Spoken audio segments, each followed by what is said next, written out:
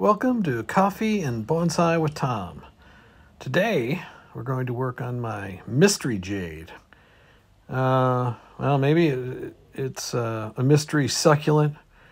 I'm not exactly sure what this tree is. I'm hoping that um, one of you can can tell me. But we'll take a look at it and we'll prune it. I have a little bit of experience with it, and I'll uh, tell you about that. Uh, but it's an interesting plant and it needs um, some basic styling, which is the goal of today. You can see it. I mean, it's not a bad looking tree. Uh, it has a lot of uh, whorls, you know, where it has a long spindly growth with growth out at the end, and then a lot of uh, kind of clusters where you just have all these branches coming out of one spot. And so I want to fix a little bit of that. Um, but you know, it's not a bad it's not a bad looking tree. We'll zoom in and take a look at it here. It has this interesting green um, leaves, I guess you'd call it, with these red stripes, and um, it's quite sticky, quite sticky. Uh, so I'm just going to start off by just cleaning it up a little bit here and there. Uh, you can see it; these clusters grow in very thick and I sort of want to get rid of downward growth. And uh, it's kind of a dirty tree in that it, um, you know, it sort of loses these these these leaves in the fall and then quickly regrows them. But it, you know, it just this stuff falls off of it, and as I mentioned, it's sticky and it gets sort of like. I don't know, this husk like stuff that falls off of it. So I, I sort of like how it looks, but it's definitely not the most hygienic trees. So I kind of want to uh, thin this out. You can see the way that it grows. Um, I mean, if you look at the branches, right, from one spot you have about four or five things that come out. And normally I would reduce that to two. I think I want to reduce it to three in this and see how, how that goes. Although this is one, I guess this is one to two. It looked like three, but it's one to two. Um, and sort of see how that goes just to, to reduce it. But um, yeah, there's just a lot of branches on this tree, and so I want to go around initially and just kind of try to, we'll simplify this over time and remove some of these. Um, you know, this uh, tree responds very well to hard pruning. Um, when I brought it in last fall, it had had just growth all over the place from it grows a lot once you get it outside and the um, just reduce this in the, uh, you know, in the summertime and then in the fall. And when I brought it in, I mean, it was just like these long branches. So I just cut it all back, like right down, you know, right down. It took all the foliage off and it quickly generated new foliage. So um, I think what I'm going to do, this is sort of a basic um, stylistic pruning I want to do here, but I think this summer once this plant gets cooking, I'm gonna cut it, cut it back hard, and see what happens. You can see here we, uh, um, I'm just kind of thinning out the foliage for now, but I, we will move to you know reducing some of this um, trunk and branch complexity because I really wanted to uh, look a bit more tree-like. Although in all honesty, this doesn't look too bad.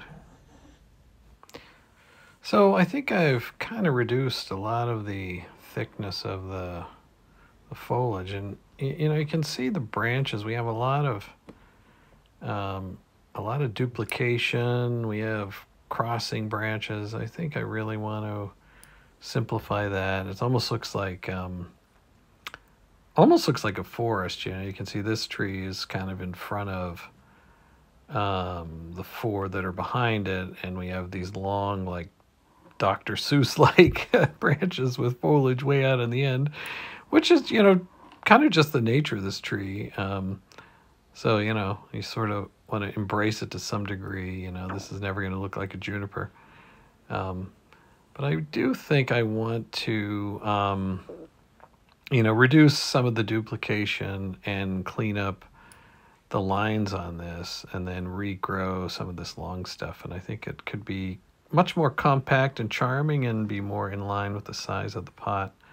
So let me uh, take this off So one of my goals is to simplify the main structure of the tree here. You can see many, many places where I go from one main branch, you know, to three or more. So I want to pick the two that I want. In this case, I'll take this right one off and really cutting off the one that doesn't flow. And I may be able to do a cutting with this. I'll check that out. But you can see the growth habit, how it's just sort of a, a whirled ball of foliage. Um, which I may be able to work with. I just want to get the primary structure of the tree kind of under control here. Um, I think I'll thin this out a bit as well. Um, at least my previous experience, this thing is budded back pretty um, heavily, so I think I think we'll be okay. I apologize. You can probably hear my dog uh, heavily snoring in the background. Um, she just really likes to hang out with me and she likes to sleep. She has two modes. She's either sleeping or going 100 miles an hour. And, um, you know, I don't even hear it anymore. So um, I apologize, but I assure you, you'll sort of get used to it. So I want to thin this out a bit um, as well. And I think that looks pretty good. So you can see this branch here. I just want to thin thin that one out a little. Um, basically just take it down to sort of one node at the top and see what happens with that. Um, and this one you can see needs some simplification. We have quite a few branches there, so I'll just take this one which flows less. The other two really sort of go up and out. And we will continue to work with those. So you can see here this this primary, it's almost like a tree in front of a tree. And, you know, it definitely has, you know, it goes from one to three. Uh, but, you know, the elephant in the room is, should I even, you know, like, I think I need to do some simplification. It's sort of like we have one tree standing in front of another. And I think the easiest thing is to remove this front one. And I just want to convince myself that that's the way to go because it does, you know, have some 3D depth. Um, if I were to to not do that. Um, sometimes it helps. Eh, we're taking it out. He who hesitates is lost. There we go. Um, yeah, I think that's better. That's much better. That it, it sort of flows better and it's much less confusing already. So here again we have uh, one to three. Um, I think I'm just going to cut this one short. I don't know if I want to take it all the way out because I sort of would like something in here and we'll see what happens. Um, this tree seems to like to split from one to three or more. Just thin this out a bit to try to convince it to um, grow uh, more uh, down the branch.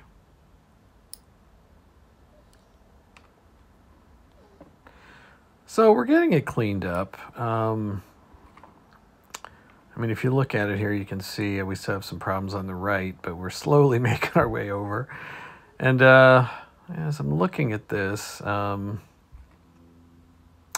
I think, uh, let me just show you. If, if we kind of like, this is kind of what I'm eventually thinking I want. So in the summer, like once this uh, primary is established and it really takes off, I'm going to try to prune it back to sort of that profile I just showed. So in the meantime, I'm just trying to, you know, get rid of stuff that is just not going to fit into that. And, and now we come to this right section, which has quite a few problems. So let me just take a look at it here and figure out what flows and what does not.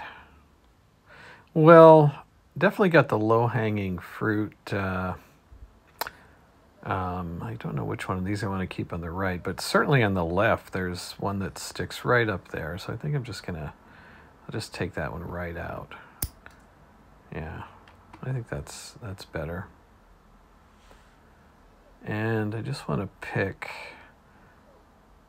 um, which of these has better flow. I think in the end, uh, the sort of the one, the one that's behind kind of comes up from the trunk and then sort of gracefully arcs. So I'm going to take that one that's kind of in front of it off because I because I think uh, I think the other one just flows better. Yeah, I think that's that's better for sure. So I'm just cleaning this up a little. Uh, got a little nub there. And I think, you know, this is kind of one to three, but the third one kind of goes out the back. And so I was thinking about cutting it off, but I think that would make the tree, you know, a bit uh, two-dimensional. And, you know, I'm sort of thinking ahead a bit in the summer when I want to sort of profile prune this. I, probably want a branch kind of going back there. So I think I'm going to leave that for now. So I'm going to just spin it around here and do a few tweaks here and there. But I think we've taken off quite enough. My, uh, as I said, my goal was just to get the primary branches in place and reduce confusion. And we've certainly done that. And we have sort of a nice, uh, much less confusing tree shape now.